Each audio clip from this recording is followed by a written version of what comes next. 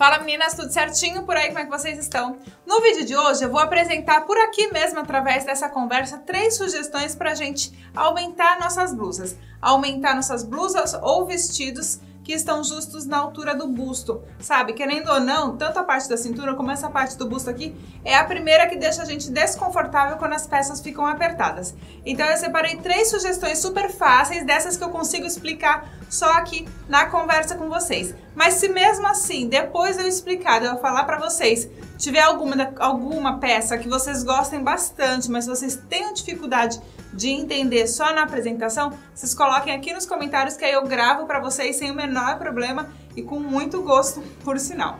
Então eu vou começar com essa peça daqui, ó, é uma blusinha jeans, que tanto pode ser uma blusa como um vestido. Geralmente essas peças jeans, ainda mais se for de uma transformação de uma peça com manga, que aí a gente tira e mesmo assim continua pegando na cava, essas peças realmente marcam bastante aqui nessa região. Então, o que, que a gente vai fazer aqui? A gente vai aumentar a nossa cava, vai aprofundar aqui a nossa cava, e aí com aqueles retalhos, restinhos de tecidos, que a gente tirar desse contorno de alguma outra parte da peça, a gente vai fazer, vai costurar várias fitas, né, faixas, em formato canaleta, e vamos prender aqui nesse formato aí, formando ali, colocando ali três é, suportes, né? Meio que alongando a blusa, o vestido e ao mesmo tempo dando um charme. Então quem olha de fora com a peça pronta não dá para perceber que foi por conta dessa, dessa mudança, dessa alteração. Vai parecer realmente que faz parte do design da peça.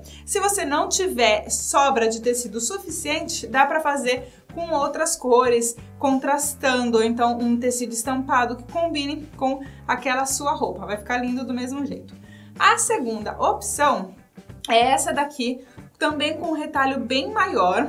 Nesse caso aqui, para ficar mais charmoso, reparem que o comprimento aqui, ele tá mais curto, na altura, como se fosse ali na altura do cos da peça, né? Como se fosse um cropped.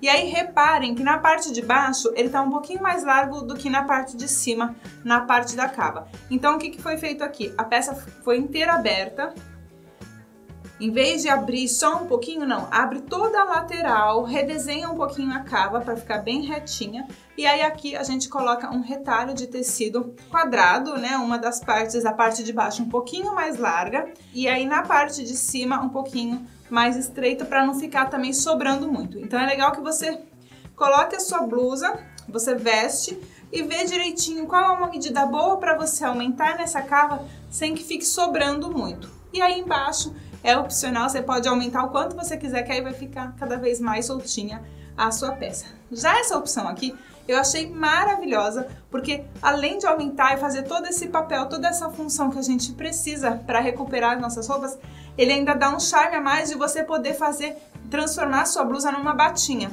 Porque olha só, em cima é costurado como se fosse um barrado de, de elástico, igual quando a gente coloca elástico no cos da saia, no cos da bermuda, no cos da calça do mesmo formato.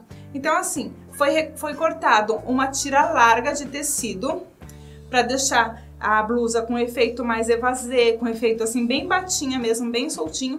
E lá em cima o elástico foi cortado na mesma medida que a gente precisa para ter esse conforto. Então o elástico aqui é estreito e aí o cos dessa nossa dessa emenda que a gente vai colocar, o cos dela é costurado com esse elástico. Então ele dá todo esse franzido ficou esse charme, essa blusa ficou elegantérrima. E aí na parte de baixo você pode fazer livre, livre, livre ali pra, pra ficar tipo uma batinha, né? Tem essa outra opção, apesar de eu ter colocado que seriam três, tem essa outra opção que é uma emenda de uma renda. Mas essa entra também dentro das três dicas porque ela tá na mesma, no mesmo passo a passo da primeira opção, que é a blusa jeans né? Nesse caso aqui, abre só um pouquinho a cava e acrescenta ali essa renda, combinando e aumentando um pouquinho essa, essa parte da blusa para dar essa alongada, esse conforto a mais, tanto da blusa quanto do vestido. Espero de coração que vocês tenham gostado. Coloca aqui embaixo se vocês querem que eu traga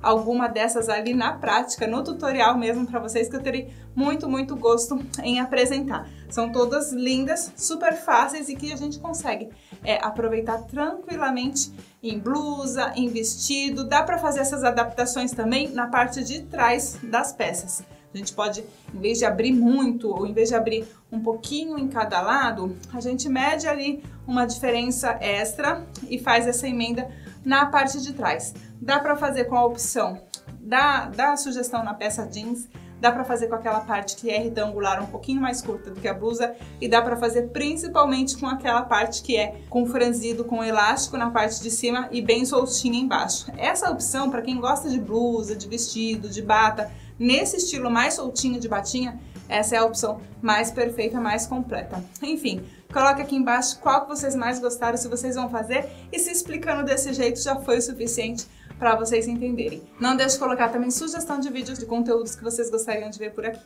Beijo grande e até o próximo!